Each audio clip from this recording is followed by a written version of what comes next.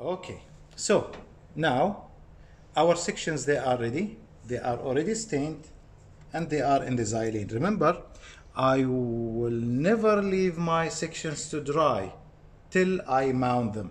Otherwise the tissues they will be affected. So I will bring the last container of the xylene that my sections were in after the staining and now they are ready for mounting. I will show you two different ways of mounting and it's all yours. But the main aim of the mounting is to avoid having air bubbles under the cover slip or between the cover slip and the slide. This will be very annoying and it will be um, uh, uh, intervening with the um, uh, sections when you look at the sections under the microscope. So, some people, they prefer to have we we have two types of cover slips. They, these are the, the the the different sizes. Now depending on the sections that you have on the slides sometimes you might need to use these bigger ones or smaller ones. Now let me just use the bigger ones. One of the things that you need to take care of is make sure that when you take the cover slips you have only one cover slip not two. Okay? So just make sure I will place the cover slip like this here.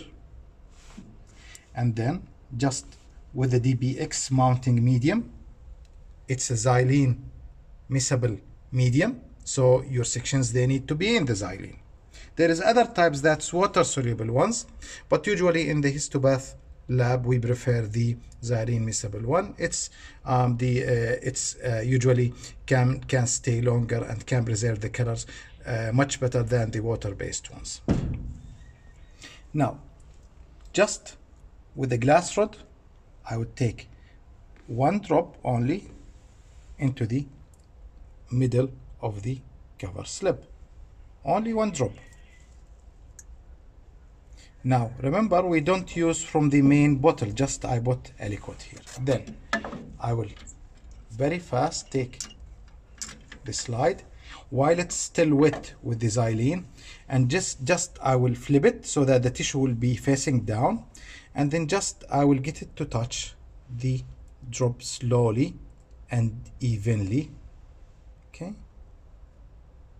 Once it touches it will spread. Okay. See here? So it will be spreading now. Sometimes you might have a little bit of air bubbles but at the edges. So with the edge of um, uh, forceps or um, glass rod I will just squeeze for these air bubbles to go out at this tip here before the um, the DBX dries. I make sure no air bubbles at the middle at the tissue. Then I would leave the slide to dry and allow the xylene to evaporate. Standing like this. Then the second method I would bring my slide with the xylene also still wet. I would place the drop of the DBX at the middle on the top of the sections and this time I will use these ones.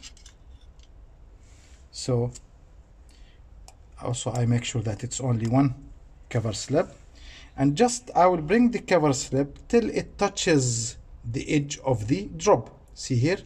It's touching. And then I will lower it slowly.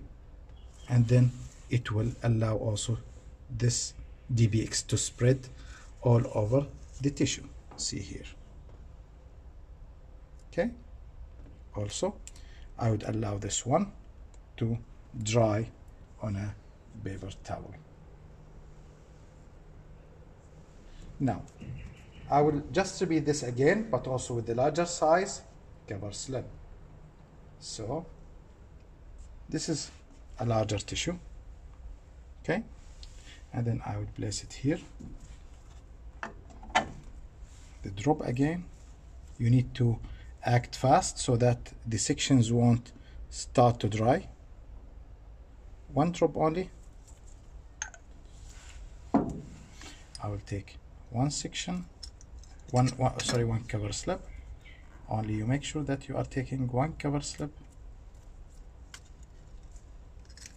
let's say you forgot at certain time and you discover that you took two cover slips what would you do? So just I would put my slides in xylene for maybe one or two nights and then then this will ease the dbx from them the same way and then just it will spread slowly.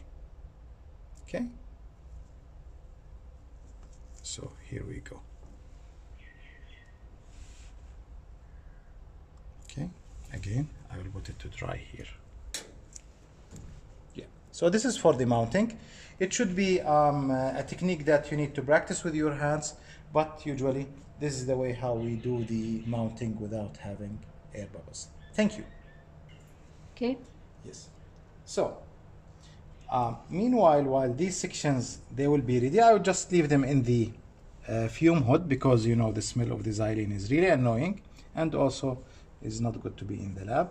So just once these they are done, I would do the proper labeling and the cleaning of the slide. So, and also for the storage. So here we got these, we use these special containers for storage for each of the slides. Now, remember that you will have cross sections. With the cross sections, you need to do the labeling. Now, you can do the labeling either with the pencil or the marker to, to indicate what's the type of the tissue, the organ, and whether it's a cross section or maybe longitudinal section or depending what's the tissue that you are using. Okay? So this is very important for the storage later on and when you return back to the section you, it will be easy for you to re-identify it again